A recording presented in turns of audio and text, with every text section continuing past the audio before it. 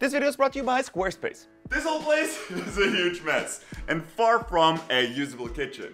But in this video, that's all about to change. Today, we're installing all the remaining doors, door fronts, cabinet fronts, all the hardware, as well as all the appliances, a bunch of really cool motorized hardware, and maybe even some lights. Now, I've spent the last few days cutting various shaped holes into all the cabinets that we just finished installing last week, which wasn't at all nerve-wracking. But that's not resulted in some places where we can run cables, I've glued some ventilation ducts, but way more importantly, that also meant that I could clean up all of this wire mess that you saw last time, and the electrician's been here and hooked up all the switches for all the lights both in the living room and the kitchen, as well as the floor heating in the living room. Some right now, so don't really need that. And here's a little sneak peek. But I'll make you wait until everything is finished to give you the full tour. Right now, let's start installing stuff. Let's just start at the top and work our way down. First up, top cabinets. I just have to say uh, thanks to Blum, which have provided all the hardware for all the cabinets. For those of you who have followed me for a while, already know, and I've always recommended all their hardware even before they supported this project. And in fact, it was I that reached out to them and asked if they wanted to support us. They did, so you'll see a lot of cool stuff from them in this video. Now that's basically already one installed. That was super easy. That's because I made this, which is a 3D printed jig template thingy that I can just align to where it goes and screw it in place, just like that. All right, and now that all of those are installed, it's onto the front, which I'm really excited for because this is the state of our living room with random bits of kitchen just occupying all the space there is. Which brings me to the second 3D printed jig that I made to attach the brackets to the doors. And then it's just a matter of clicking the thing in place and ta-da! This thing is a little floppy, but just like with all the other Blum stuff, you can adjust everything so that the door is perfectly balanced and both opens smoothly and stays where you leave it. Now, there's one obvious challenge here, but fear not, there's a way we can solve that. Isn't that cool? Now the solution here is called servo drive and it's essentially a motorized unit that you can click onto the side of the existing hinges that will turn the regular hinge into a motorized unit. And the way it's activated is with one of these switches that I've installed into the side frame here. Now, I don't really know what you'd use it for, but it is a pretty cool part trick. Now conventionally, this little unit is supposed to be installed into the side of the frame, but since my doors are inset, I needed a way to install them just onto the side. Now Blum actually sells these, but I 3D printed a bracket that holds that button onto the side, complete with some screw holes. So now to close the door, all I need to do is press the button, and the door closes. And I run the cables to power all of this up through the small holes behind the brackets and then up along the top of the cabinet so that they come out where all the other cables meet. And the wiring is super easy. You just connect the cables together with these connector pieces, which is actually really nice because you don't need to be an electrician and you can hook all this up yourself. A couple of cover caps to make everything look nice. And we're left with this. and now, although that is really cool, the next thing, in my opinion, is even cooler. You just need to install a few more parts first. And by the way, there's no need to make more work of yourself. We've only finished the oil, the pieces are actually gonna be visible. Because all that is gonna be hidden by a fridge. God, I hope this thing fits. oh yeah. I cannot begin to describe how happy this makes me. Because measuring and looking at drawings is one thing, but 3D modeling this months ago, cutting all the parts, installing everything, and now actually having this thing fit is something completely else. Phew! This fridge is actually meant to have a separate door on the outside of it, which I hope that I am doing right. Hey, handle will be nice.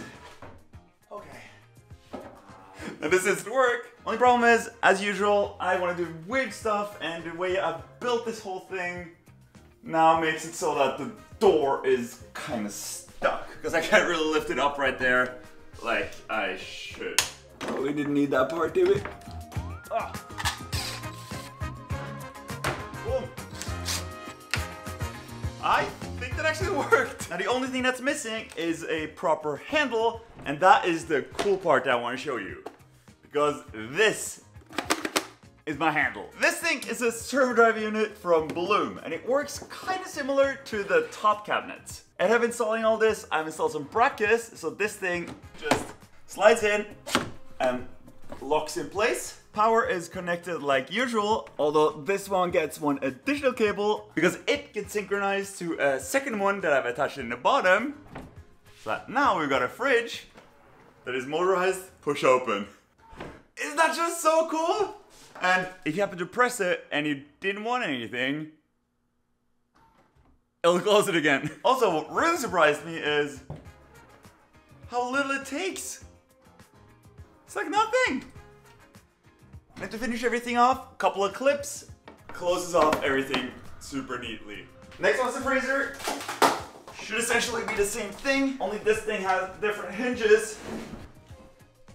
Because instead of having the door mounted directly to the door of the freezer, in this case, the door is on regular cabinet hinges attached to the frame, and then just like the fridge, this thing also has a motor. Installed the same exact way, just this one only has one more up top. And again, this really neat feature that if you don't open it, it closes it again. And now we are really starting to get somewhere. We've also installed the oven and the microwave. Both of those just slid in place, no problem. So this is finally starting to look like a kitchen.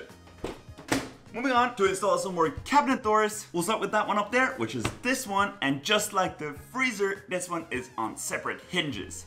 Now, again, I'm pretty pleased with myself and I've 3D printed this little drill jig for the parts that mount into the side of the cabinet. This one actually has metal threaded inserts so that you can use a drill and the hole doesn't wear out over time. And this actually worked out quite well. But just as I finished making these, this thing from Blum showed up on my doorstep. And in here are literally all the templates that essentially replace all the 3D printed ones I've used throughout this entire build. This one replaces all the ones that I just showed you, and this all the ones for the top cabinets. Now these are all adjustable and super nice if you do a lot of this stuff. Great tool to have, but if you're just installing a few cabinets, 3D printing your own templates is definitely worth a shot. Now Blum actually makes it super easy to do that. They have both a fantastic online catalog with all the measurements and how to install everything and you can download 3D files and assemble cabinets digitally with their own software. Now one tool that I'm not going to attempt making myself is this guy. This is the tool that makes the holes for the other end of the cabinet door hinges.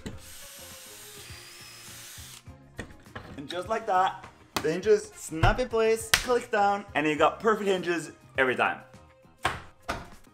Ooh. And then to open the thing, this is the shelf. I drilled a hole into the edge of it and inserted one of these push open pins so that we now install it, we get a cabinet door that is push open just like everything else. Now for the storage in the corner, I've already pre-assembled everything in the workshop. So all the pieces just click in place. Now we just need a door and the push-up mechanism is attached separately to the top. Haha. Pretty neat, huh? Now onto the cabinet up top. but first, a quick ad for today's sponsor, Squarespace. So when I'm not renovating apartments and building kitchens, I usually make design stuff like 3D printed boxes or pieces of furniture. And I sell the 3D files and build plans for these on my website. A website which I built using Squarespace. Now whether you want to sell physical or digital products, Squarespace has the tools you need to start selling online. Tools such as e-commerce templates, inventory management, a simple checkout process, and secure payments. And with the new Squarespace Fluid Engine, it has never been easier for anyone to unlock unbreakable creativity. Start with their best-in-class website template and customize every design detail with their newly reimagined drag and drop technology that works on both desktop and mobile. And with the new asset library, you can upload, organize, and access all your content from one place. Squarespace is the all-in-one platform for building your brand and growing your business online. Head to squarespace.com for a free trial, and when you're ready to launch, head to squarespace.com slash ALCH for 10% off your first purchase of a website or domain. Up there, I want drawers. But as opposed to the other drawers in the kitchen, those will be a little bit different. Because instead of using the same type of drawer like we did for all the other ones where you had to build a framework out of wood, for these, we're using the Legrabox drawers by Blum, and they go together with a bunch of aluminum parts, starting off with an extrusion that you have to cut to length, then you assemble bit by bit, piece that snap together. And here comes the really cool part. The fronts and sides are gonna be made out of glass, for which they've sent me this glass cutting tool, with which I can cut the glass right width for the drawers, slide everything together into that framework, slide on a couple of cover pieces, and we're left with this bit, which is now gonna be the front. Then for the back and the bottom, I've actually made two wood pieces. All of that now just snaps together. We'll screw the bottom in place, click the front in place, and it just keeps getting cooler. The sides are also glass.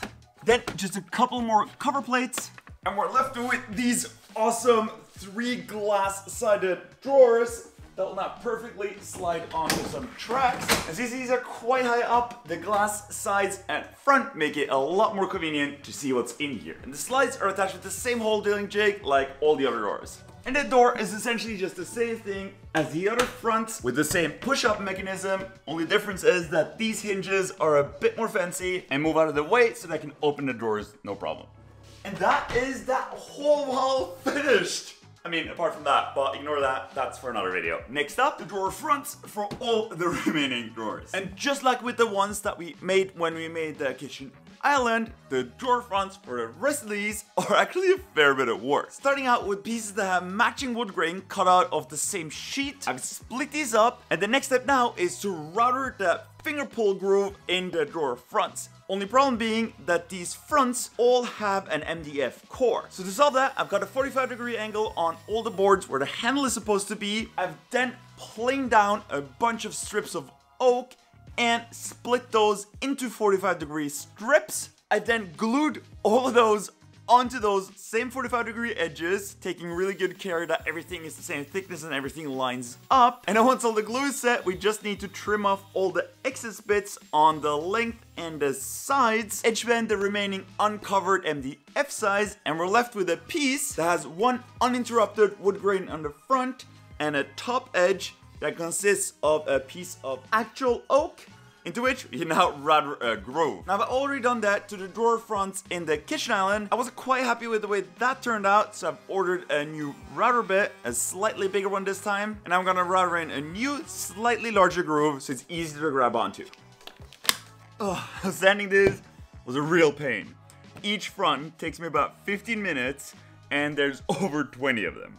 Now luckily, figured out that a piece of sandpaper mounted in the drill. It's real nice to sand the inside corners here. And the next step is oiling, which is really sped up if you have a girlfriend that's willing to help out. She's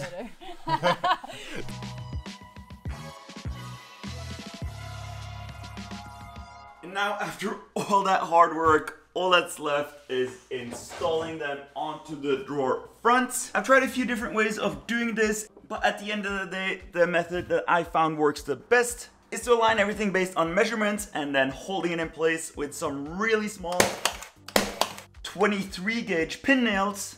That's enough to hold it in place so you can double check that you did it right. Now this wasn't planned, but I clearly didn't. But the super tiny pin nails are very easy to pull back out because that's how tiny they are. So you can repeat the process a second time and hopefully get it right this time around.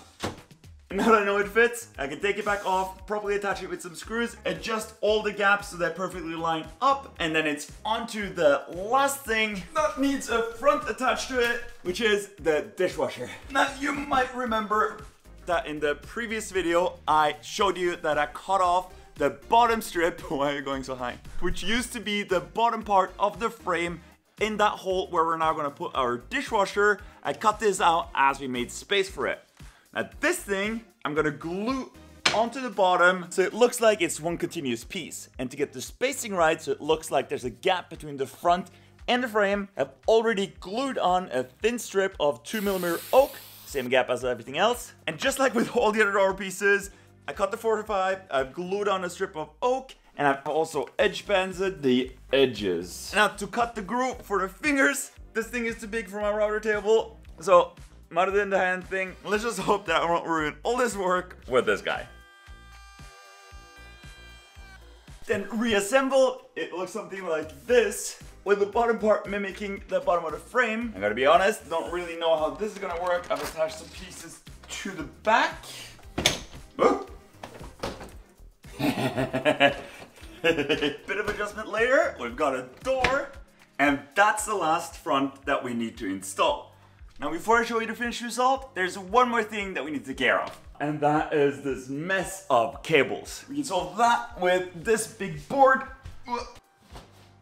For the bottom, same thing, just this one has a bit of space so I can pull it out and access all the switches and stuff behind there.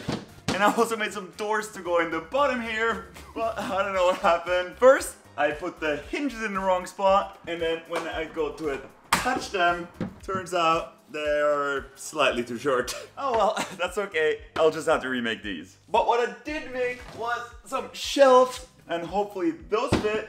Really? You know what? We'll leave that project for another day. But while I was drilling the shelf pins, I did router in a groove into the side as well, so that now we've got some lights in the cabinet. And the whole thing is controlled with a hidden switch on the inside of the cabinet. I mean, come on, doesn't that look cool? But apart from that little mishap, we're essentially done with the kitchen. Now, of course, there's a lot more smaller projects that we still need to do to finish it completely. Like in the next video, we'll make some countertops. We still need some shelving, and I've got a cool project in the corner. But, I mean, check this out.